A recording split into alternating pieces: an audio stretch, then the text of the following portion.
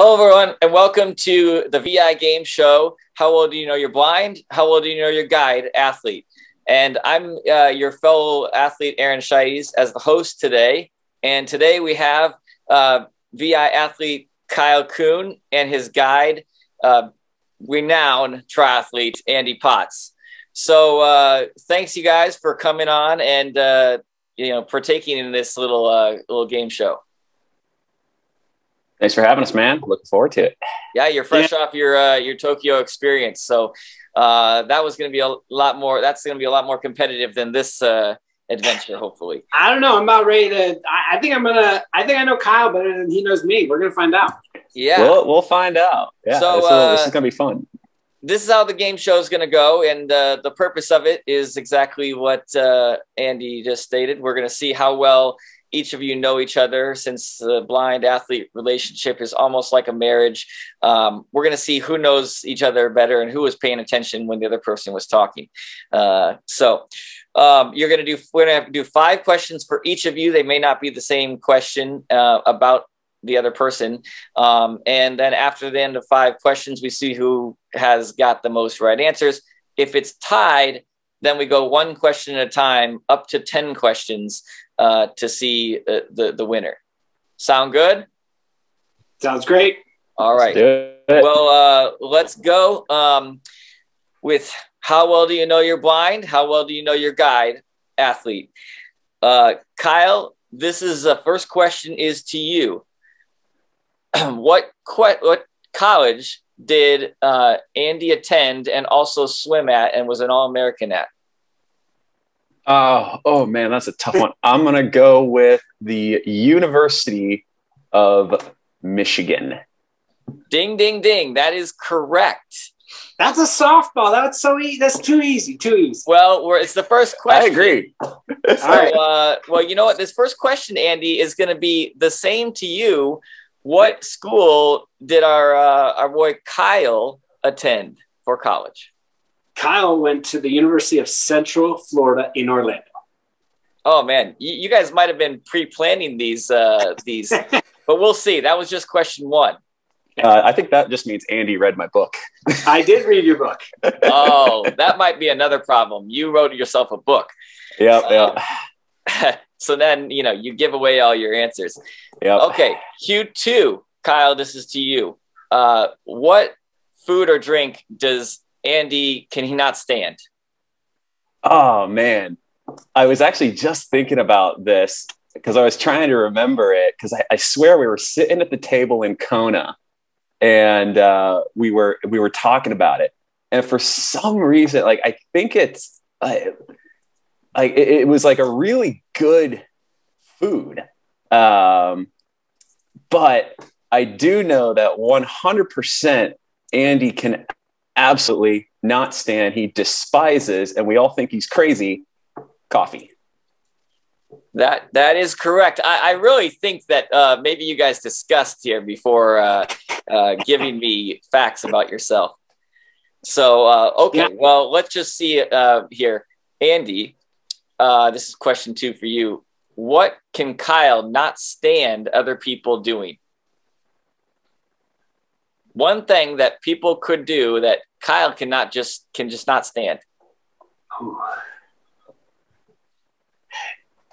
I know these are fun and light, and I'm trying to think. so I do know when, um, like, I, I, okay, let's say I'm, my, I, I could be wrong here. I, I probably am, but Kyle does not like it when um, uh, people do everything for him. He likes autonomy. That that actually is probably a right answer, but it's not the one we're looking for. So, and I'm going to give you a, a you know the buzzer on this one.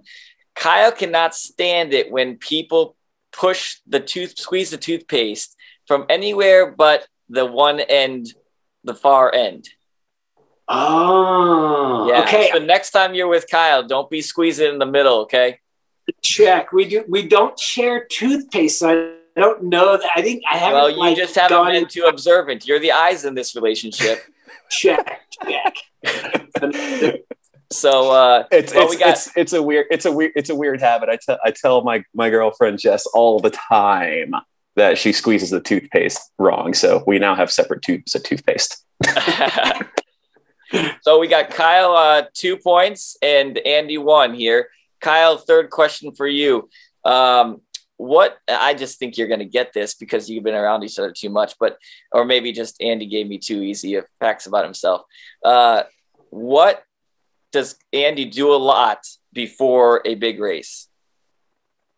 Oh, what does Andy do a lot before a big race? Uh, I know. He, I mean, he does a lot of stuff a lot. I'll be honest. I mean, like he he goes on like huge bike rides before a race. He, uh, I mean, but like for some reason, it sticks in my head. Like I don't know. A couple, there were there were a couple of times when Andy was like loading up on like chocolate chip muffins right before a race. Uh, so uh, just for just for fun, uh, I'm gonna go with uh, he likes to uh, eat sweets before a race. Again, that may be another thing that he likes to do, but it's not the one we're looking for. Uh, Of course not. for you, uh, Kyle. Uh, Andy likes to sleep a lot before a big race. Ah, you know, I should have, I should have, I should have gotten that one because we, uh, uh, we uh, had to make a, a rule in the the week leading up to Tokyo about putting our phones on do not disturb at night. Oh, I blew it one night. All well, his phone because you know the, the, you're just in a different time zone and people are just hitting him up and whew, he's a popular man. yeah. Uh, all right. Third question for uh, Andy. What is Kyle's favorite color?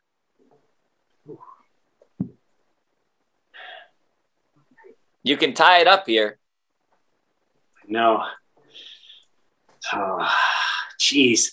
So for some reason, I want to say green, but I'm not going to say green. I'm, I'm going with either like I'm going with a dominant color. It's, it's I'm going to go blue or red here, Kyle, and it's probably going to be like white. I, I'm going to go. Uh, um, I'm going to go red. I'm going red.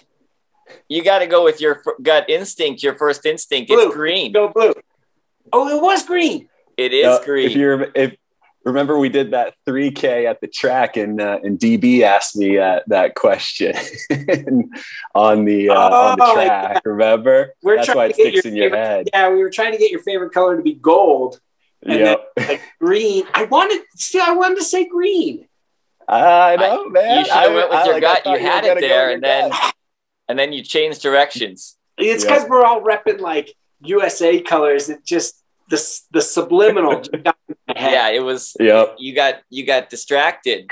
Got persuaded by the the red, white, and blue. There you go. All right. Well, uh, Andy, um, you're going to really have to pick it up these next few questions here. Uh, Kyle, you have uh, two right and one wrong. Andy, you have one right and two wrong. So, um, anyways, we're going on to question four here. Okay. Uh, Kyle, this might be a hard one for you. Uh, what is Andy's fastest 10K on the track? It has to be within 30 seconds. Oh, fastest Oh, within, 10 three, oh, within three seconds. Within Oh. three ah. seconds. It has to be Within within three three, seconds. seconds. We'll give it. Oh, Yeah. on the track. Ooh, ooh. I'm gonna go. Don't be making me slow, Kyle. I, I know, I know. I, I'm gonna. You know what? I'm gonna go. I'm gonna go. 28-15. That's well, that's not even within the 30 seconds, but you really think that Andy's a fast runner. Yeah. Uh, the correct answer is 29.34. Oh, So now we have, uh, is that two? that was your two, off the bike even? 10k. it it was like technically that is my off the bike 10k best. Ah, okay, gotcha. Well, technical doesn't matter in this game. So, um, okay, Andy, this is question four. You both have two incorrect answers. Okay. I'm getting back in the game here, Kyle. You're getting back in the Oh, game yeah. if you can get this one right. What was Kyle's first competitive sport? Okay, competitively. Now, I better get this right because he may not have been very competitive in it, but I don't know. No, he was. He was actually really legit at it, and he and he had a new system, or maybe it wasn't a new system, but he figured out a system to um, find where handholds were in competitive climbing, and he had this clock system all set up, and he would be um, to be competitive. It was a it was a, a tactile thing and a coaching thing, um, and there was some discrepancies with the, some of the rules, but he was a great climber growing up as a kid. That's that's correct. Oh man, I think we're tied back up again. Locked back in. Oh Yeah, yeah. That's five uh, five questions. Uh, or, no, we're on we're on question five. That's four questions, and you both are two and two. So no, Kyle, Kyle, wasn't I right? You, you had a clock system, Yep. right? Yep. Yeah. You're yeah dead on, man. Yeah. Nice. Okay. Uh, question question five uh, for Kyle. Um, what does Andy like to do when he's uh, listen to when he's training? What does Andy like to listen to when he's training? Hmm. You know, when he, ah, shoot. Nice. For some reason, it sticks in my mind that, like, I didn't think you were a big music listener when you were like on the on the trainer. Um, so I think you're. I, I think you like listening to podcasts when you're training. So I'm going to go with that. That's a good answer. Ding, ding, ding. That's correct answer. Okay. And and I think we might have to go into overtime because if if Andy doesn't get this, he might get this next one. He might get fired. okay. Oh, oh gosh. Yes. Uh, Andy, question number five. What is Kyle's favorite food to eat after a big race? After big race, Post Kyle's been- race food. sure, he's been known to house a ton of food, but his go-to food is a Bubba Burger. Ding, ding, ding. That's correct. Oh man, we're we're going into into extra. That's uh, you both have uh, three and two, three answers right, two answers wrong. okay. Okay, All right. It's a full so, count. uh, now this is the this is the elimination round. Okay, we're not. There's no more three more questions. This is you get it right, the other person gets it wrong. You're the winner. Oh gosh. All right. There's not a big jackpot like uh, like Tokyo though. Oh man. Come on, Aaron. So, all right, Kyle, we're going to you first here. If Andy decided not to be a professional triathlete, what would have he went into as a profession? he was going to be a I believe uh were you going to be an English teacher, Andy? I think that's what it was. I was gonna. Sorry, Aaron. Is that right, right or wrong? Well, we're, we're gonna. What's what's your final answer there, Kyle? Uh, I'm that, I'm going to go. I mean, I know he was going to be a teacher. Um, I just can't remember if it was a English or a math teacher, but I'm going to go with English. All right. Well, we're we're gonna give it to him because the the answer was he would be a high school teacher or and or coach. Yeah. Ah. The goal, yeah. The big goal was. That's when- right. You you were going to be a the swim. You were gonna you wanted to be a swim coach. That's right. Yeah. No. It was. It was high school English teacher and then coach after after school. Yep. Yeah, so that's we're, right. we're gonna we're gonna give him on that one. Yeah. Uh, now, Andy, this is all the pressure. See if you're a clutch performer or not. Okay. This is the elimination round here. Uh, Andy, what is uh, Kyle's favorite dessert? We know he likes sweets. What's his favorite? Oh heavens! So Kyle, Kyle is known as like the team trash can. If you if you don't want something, you give it to Kyle, and that way we'll eat it. So, I thought that was me.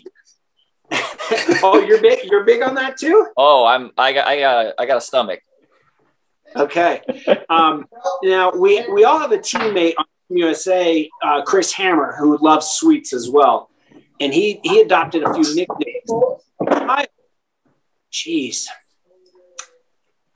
I feel like I'm going to let you down. here. I have to call something out, but you'll house everything. So I'm going to say, okay, this may not be the right answer, but at least it's fun to say. I'm going to say it's a flyby brownie. It's a what? I'm gonna say it's brownies, but for me and Kyle, it's called a flyby. Flyby brownie. A flyby round? Flyby, flyby brownie. Oh no, that's that's it. That's what it- Incorrect. that's, uh, Kyle. Uh, well, the answer is uh, apple pie a la mode. Oh, you know, I probably should have known that actually. We have a really high It was a good try there. I mean, I would have went for the chocolate if I were you t- as well. So I mean, uh, the, the the the story behind the flyby brownie though is every every time we're we're in the dining hall in Tokyo and like we get up, you know, you got desserts all the time. You know, they're- the dessert is just sitting out there, and they put it right, of course, on your way out the door. Uh, and Andy would always say, "Hey, you want to do a flyby?" And oh, and like every time we did a flyby, we grabbed a brownie. grabbed the brownie. I see. But they don't typically do flyby apple pie pieces.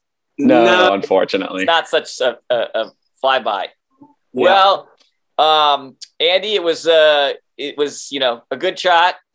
Looks like uh, Kyle may know a little bit more about you, or at least this type of information about you. So, uh, but thank you for coming on to uh, How Well Do You Know Your Blind? How Well Do You Know Your Guide? Game show. Thank guys take you for care. having us. Thanks for having us, man. Yeah, Good no problem.